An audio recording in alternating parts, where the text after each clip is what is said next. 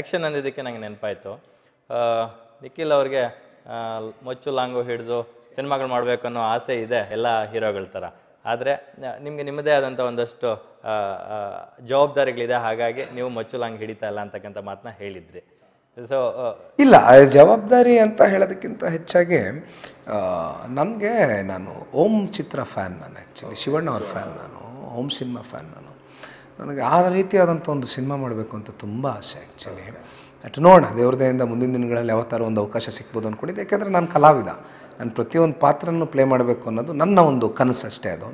But ಇದನ್ನು ಹೊರತುಪಡಿಸಿ ಈಗ ಸೀತಾರಾಮ ಕಲ್ಯಾಣ ಎಸ್ಪೆಷಲಿ ಫ್ಯಾಮ್ಲಿಗೆ ತುಂಬ ಹತ್ತಿರ ಆಯಿತು ಆ ಒಂದು ಸಿನಿಮಾ.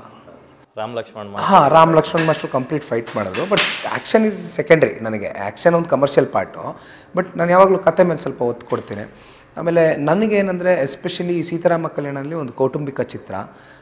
ಇವತ್ತಿಗೂ ಕೂಡ ನನಗೆ ಖುಷಿಯಾಗುವಂಥ ಒಂದು ವಿಚಾರ ಏನಂದರೆ ಇವತ್ತಿಗೂ ನೀವು ಸೆಟ್ಲೈಟಲ್ಲಿ ಹಾಕಿದಾಗ ಚಾನಲ್ ಮುಖಾಂತರವಾಗಿ ಜನ ವೀಕ್ಷಣೆ ಮಾಡೋ highest T R P we are so proud we are so happy ಮಕ್ಕಳಿಂದ ಮುದುಕರವರೆಗೂ ಎಲ್ಲರಿಗೂ ಇಷ್ಟ ಆಗುವಂಥ ಸಾಕಷ್ಟು ಎಲಿಮೆಂಟ್ಸ್ ಆ ಸಿನಿಮಾದಲ್ಲಿ ಇದೆ ಹಾಗಾಗಿ ಎಲ್ಲರೂ ಅದನ್ನ ಇಷ್ಟಪಡ್ತಾರೆ. ಯಾಕೆಂದರೆ ಒಂದು ಸಿನಿಮಾ ರಿಲೀಸ್ ಆದಾಗ ಯೂಶ್ವಲಿ ಇವತ್ತಿಗೆ ಒಂದು ಸಿನಿಮಾ ಅಂದರೆ ಒಂದು ವಾರ ಎರಡು ವಾರ ಫುಲ್ ಆಗುತ್ತೆ.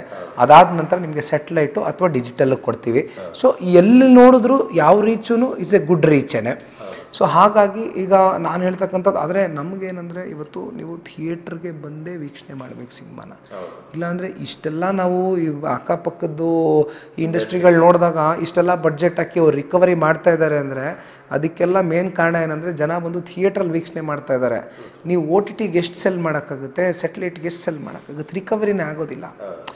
ಸೊ ಹಾಗಿದ್ದಾಗ ಜನ ಎಲ್ಲ ಬಂದು ಥಿಯೇಟ್ರಿಗೆ ನೋಡಿದಾಗಲೇ ಆಮೇಲೆ ಎಲ್ಲದಕ್ಕಿಂತ ಮುಖ್ಯವಾಗಿ ನಾನು I'm just talking on the producers and but as an artist ನಾನು ಮಾತಾಡೋದಾದರೆ ನೀವು ಥಿಯೇಟ್ರಿಗೆ ಬಂದು ಚಪ್ಪಾಳೆ ಹೊಡೆದು, ಒಂದು ವಿಸಿಲ್ ಹೊಡೆದಾಗ ನಿಮ್ಮ ಜೊತೆ ನಾನು ಕೂತ್ಕೊಂಡು ಸಿನಿಮಾ ನೋಡಿದಾಗ ನಮ್ಗೆ ಆಗುವಂಥ ಬರುವಂಥ ಒಂದು ಪಾಸಿಟಿವ್ ಎನರ್ಜಿ ನಮಗಾಗುವಂಥ ಒಂದು ರೋಮಾಂಚನ ಇನ್ನು ಇನ್ನು ನೀವು ಮನೆಯಲ್ಲಿ ಕೂತ್ಕೊಂಡ್ರೆ ನಮ್ಗೆ ಕೇಳೋದೇ ಇಲ್ಲ ಈ ಕ್ಷಣದ ಸುದ್ದಿ ಹಾಗೂ ಮನರಂಜನೆಗಾಗಿ ಪವರ್ ಟಿವಿ ಡಿಜಿಟಲ್ ಯೂಟ್ಯೂಬ್ ಚಾನಲ್ಗೆ ಸಬ್ಸ್ಕ್ರೈಬ್ ಆಗಿ बेल आयकॉन होती। है